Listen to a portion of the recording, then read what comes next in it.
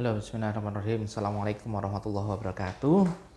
Uh, hari ini kita akan membahas ya untuk khususnya ini untuk bapak ibu semuanya yang memiliki anak laki-laki ya toh, yang mau sunat atau yang mau disunat itu.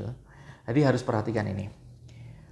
Jangan membuat acara syukuran sunat walimatul hitan apa apa pun namanya yang intinya eh, mengadakan pesta untuk anak yang mau disunat atau anak yang disunat. Pada hari H anak sunat. Eh, mengapa? Ini harus mengapa dan mengapa? Karena sering terjadi ya sering terjadi di seputaran kita gitu ya. Jadi eh, ngapa saya bikin konten ini biar eh, tidak terjadi di uh, uh, tempat anda gitu ya di atau di keluarga anda. Jadi gini uh, seringnya itu kan orang tua gitu kan menyunatkan anaknya di usia berapapun ini ya menyunatkan anaknya. Nah saat menyunatkan itu di hari H itu di hari H itu juga di hari itu juga orang tua sudah mengadakan syukuran atau acara sunatan gitu ya di rumahnya Eh, tapi ternyata gitu ya, ada potensi anaknya tidak bisa disunat. Loh, kok bisa kan? Terpaksa eh, apa namanya? Karena ada kondisi-kondisi tertentu yang di mana anak itu tidak boleh atau tidak bisa disunat di tempat itu saat itu, ya, gitu ya. Jadi eh, perlu bapak ibu semua ketahui bahwa tidak semua anak bisa disunat dengan kondisi tertentu ya. Kondisi apa? Misalnya ya jadi misalnya kondisi anak itu apa namanya oh, muara atau lubang pipisnya ada di bawah atau di batang penis misalnya seperti itu. Kemudian adanya pelengketan yang begitu keras atau susah itu atau adanya kelainan-kelainan eh, pembekuan darah gitu ya atau atau mungkin sebab-sebab yang lain sehingga menyebabkan anak ini tidak bisa disunat gitu ya. Jadi tidak semua anak itu 100% bisa disunat semuanya gitu ya. Tidak semua laki-laki di tempat-tempat sunat biasa ya. Uh, di luar uh, kecuali dilakukan di rumah sakit atau spesialis bedah ya ya lain cerita ya gitu segala kondisi bisa disunat kalau di spesialis ya. Tapi kalau tempat-tempat sunat biasa memang ada keterbatasan gitu ya. Jadi oh, jangan sampai anak apalagi sunatan massal gitu ya sering terjadi kan Pak Bu ini anaknya tidak bisa disunat karena ini ada kelainan seperti ini. Misalnya juga seperti tadi ya saya jelaskan ya ada misalnya webet penis atau hipospadia hipospadia itu muara uh, pipisnya itu ada di bawah gitu ya. Nah itu harus hati-hati, tidak boleh disunat di sini bu.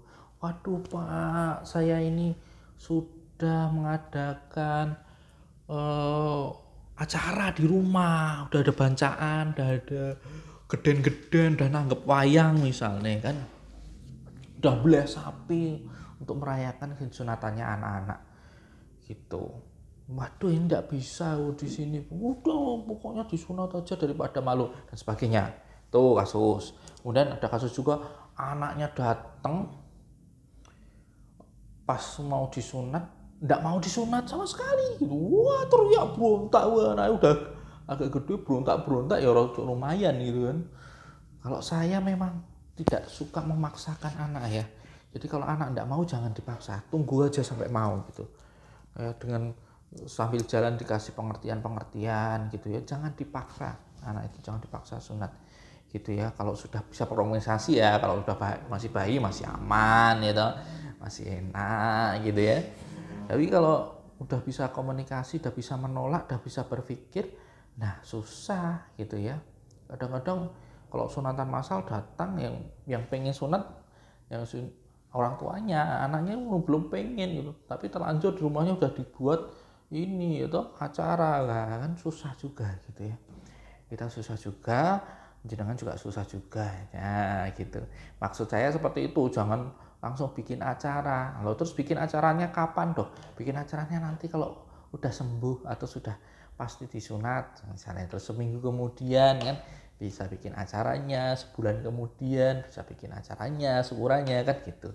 Atau setelah sunat baru bikin acaranya kan gitu. Jadi jangan udah oh sebar undangan misalnya kayak gitu. Terus waktu hari H nanya ndak bisa disunat karena berbagai hal tadi. Kan gitu. Jadi itu maksud saya. Jangan bikin acara sunat saat anak sunat di hari itu itu. Karena belum tentu semua anak itu bisa disunat di tempat sunat terdekat Anda. Gitu ya udah bisa dimengerti ya. Jadi e, begitu. Karena banyak sekali kejadian yang seperti itu. Udah udah disunat aja. Sedikit misalnya biar nggak malu atau gimana kan gitu. Lain tidak bisa disunat di sini oh. Ini harus ke dokter spesialis ya harus ke rumah sakit kondisi seperti ini atau mungkin anaknya belum mau pak ndak usah ditunggu dulu ndak usah dipaksa. Oh malah berantem gitu ya kan sakit juga dua-duanya kan gitu. Kalau belum mau jangan dipaksa. Kasih pengertian yang baik gitu ya kalau belum mau. Nanti sampai mau biasanya anak-anak itu kalau sudah bergabung sama teman-temannya laki-laki yang lain biasanya ini pengen minta gitu ya nah cerita. Apa tonton kan cilik masih kecil tontonnya upin ipin sunat itu. Kan biasanya terinspirasi anak-anak ya. Gitu aja ya. ya cuma cerita seperti itu aja. Jangan tergesa-gesa ke susu untuk membuat acara sunatan acara syukuran sunat syukuran hitan di hari H anak sunat. Gitu saja semoga bermanfaat. Semoga anda semua sekeluarga sehat dan bahagia selalu Assalamualaikum warahmatullahi wabarakatuh